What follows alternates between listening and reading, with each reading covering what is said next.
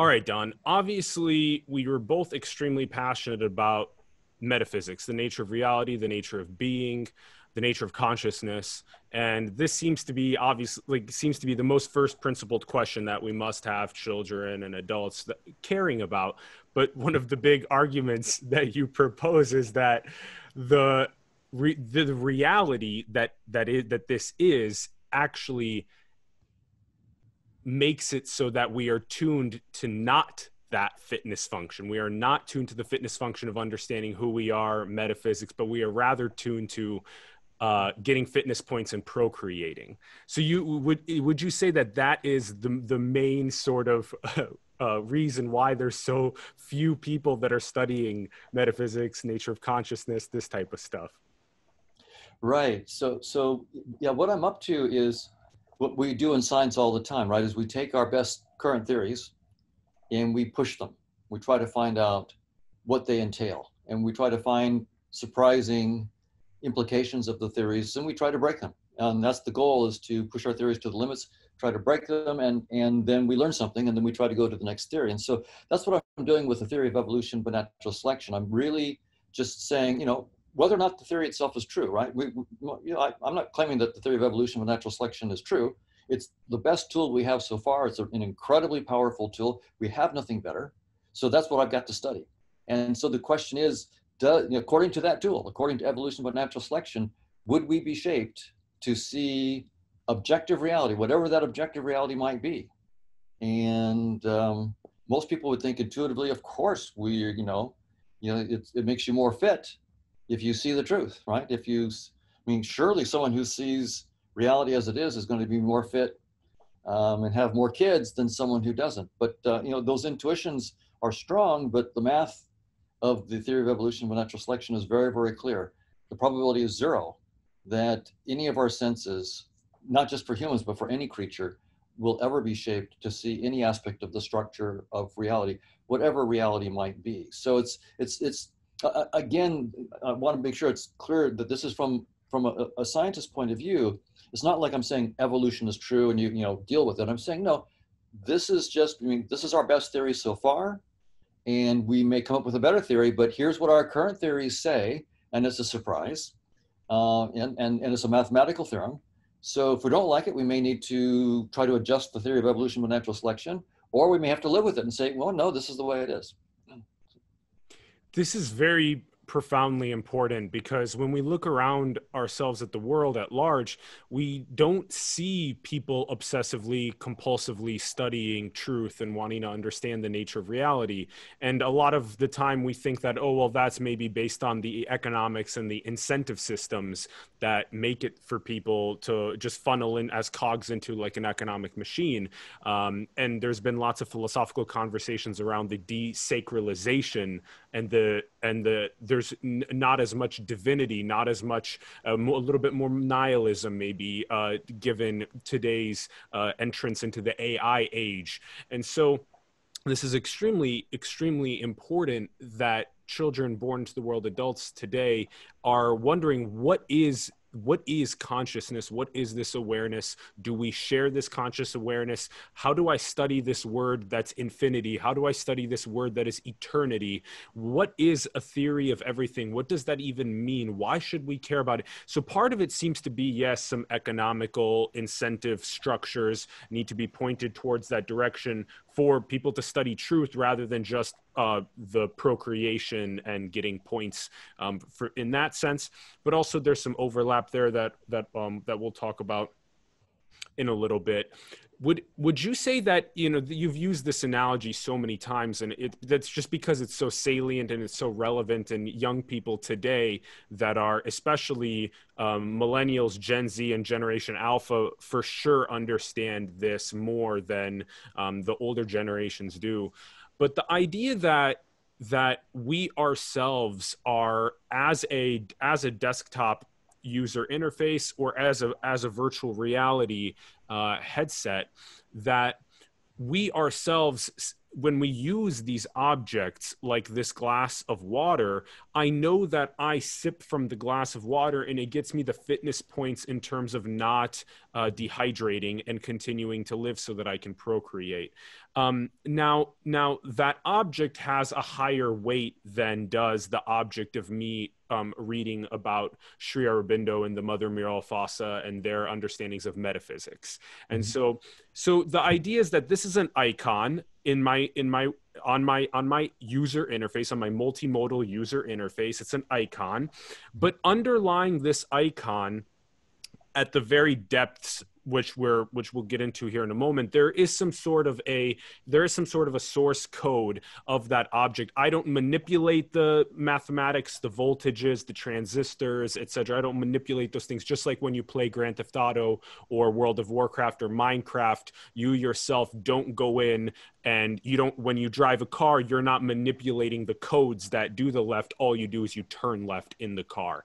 So that sort of these theories around desktop interfaces these theories around virtual reality headsets um, it's interesting because they're what is kind of the cutting edge technologies that exist today but also they are in a sense the most relevant ways of of conceptualizing this theory and i think you did a really good job at at putting them together in order to get this interface theory of perception, in order to get this conscious agent theory. But that's this general idea is that there is some sort of a of a of an abstract mathematical source codes that are occurring that are then creating some sort of a holographic space time uh, for us to then be conscious agents inside of that then we interact with uh, the user interface of objects for the fitness points of procreation is that approximately correct Right. So, so th that's right. The theory of evolution by natural selection clearly entails that our senses have been shaped not to show us the truth,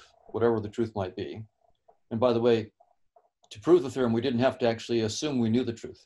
We could prove it without knowing what the truth is, which is very, very interesting that the math is, allows us to do that. But it, and so it, it, the theory of evolution with natural selection clearly entails that um, using the kind of metaphors you were talking about, it's not like our perceptions were shaped to be a window on the truth.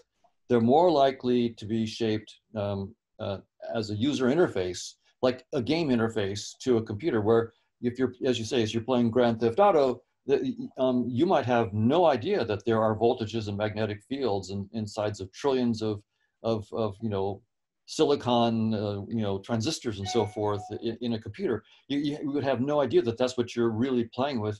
And, as you said, um, from an evolutionary point of view, there's um, very little constraint on from natural selection for us to want to understand ourselves at this deeper level, right? It's in some sense, if you've been trained you know, to play a game, um, you might not be inquisitive about who wrote the game. And so if you ask most kids who are playing games who, who wrote it, that was like, I don't care. Well, oh, do you know about the voltages and magnetic fields? Who gives a rip? I mean, it's, I just want to play the game. And, and so you, can, you know, there is some notion from evolution that might point in a different direction. And that is that, that our species, from an evolutionary point of view, is a bit unusual in that um, many species occupy a small number of niches, very, maybe very specific niches. And they, they have a limited set of fixed strategies that only work in, in certain small niches.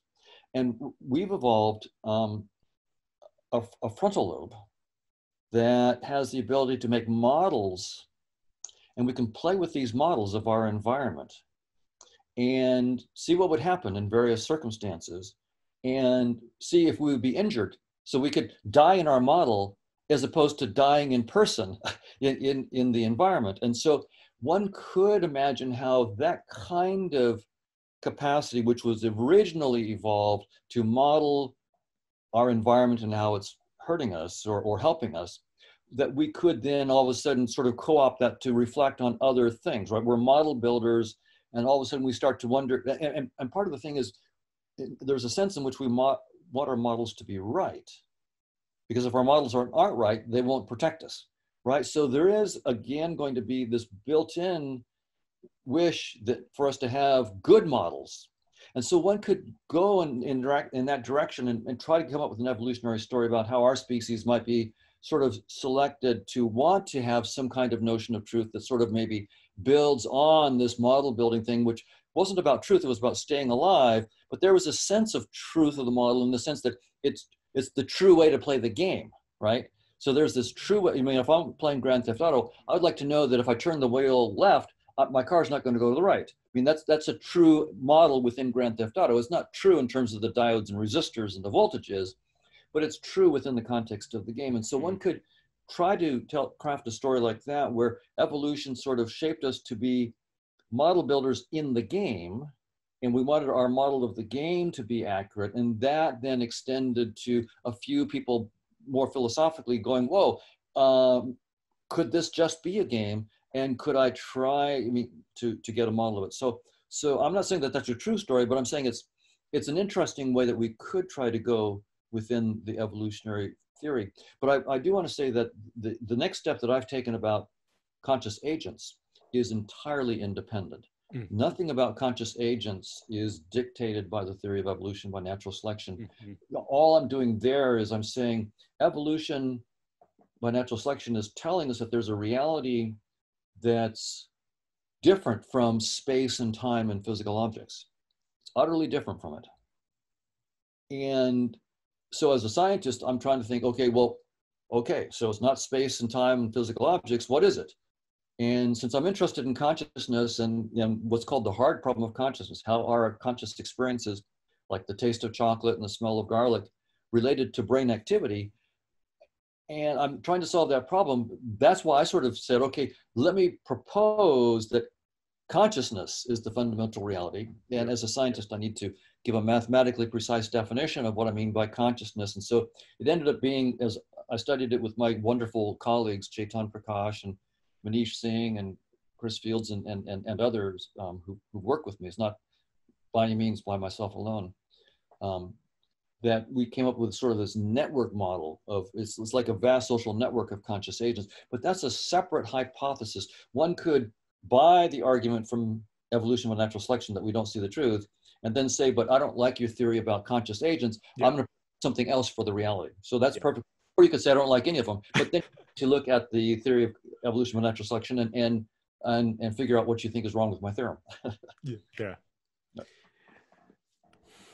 I'm glad that you're bringing up the sort of whatever we end up hypothesizing as an ultimate reality that is beyond what seems to be just a, a user interface that whatever we hypothesize as that it must unfold a quantum field theory, a space time, and an evolution by natural selection. Right. So th- that's really some key is that whoever is trying to conceptualize whatever it may be at the most abstract mathematical level happening, it has to unfold um, those three keys, but it also it also has to uh, unfold um, a, a, a, the conscious agents experience that has a, a, a, combinatorial essence to it that um, that I interact with the cup, I drink the water. That's a very very common experience amongst co- conscious agents is drinking water.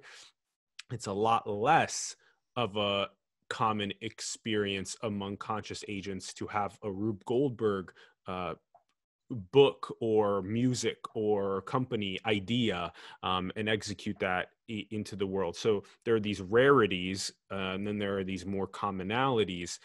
I want to I want to ask you about um, would it would it be fair to also kind of call this like in a you know is this is source code an okay word for it is implicate like david bohm would say is that an okay word for it are these okay interchangeable sorts of yeah. as long as we recognize they're just metaphors. I mean, the, the, the real point of the theorem from natural selection is that there is a reality whose structure is utterly unlike any structure of our perceptions, almost surely. And so, so, you so we can use various metaphors and you know, source code is a great one. If I'm thinking about it as a user interface, absolutely. David Bohm's, uh, you know, he, brilliant, brilliant quantum theorist, um, his implicate order, trying to think out of the box um, there. But as you as you pointed out, um, whatever we put in that deeper realm, whether it's source code or implicate order, or in my case, a network of conscious agents. Um, if we're going to do science, we can't just wave our hands. We have to have a mathematically precise statement, in my case of conscious agent networks. And as you pointed out, then um, there have to be testable predictions that in principle could disconfirm um, what I'm proposing.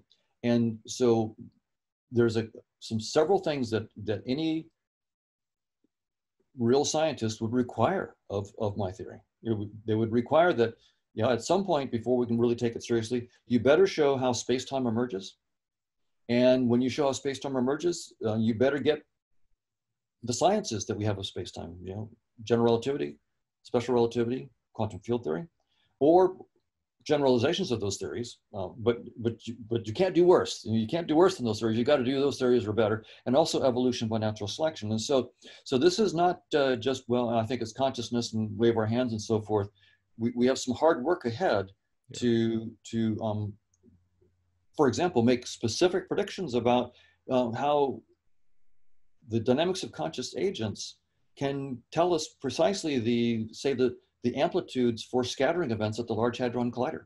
Right? We, we have to be able to do that kind of, of concrete prediction eventually. I mean, I can't do it right, right now. I and my team are working on it, but, but I absolutely accept that until we have that kind of prediction, testable prediction, um, we're not there yet.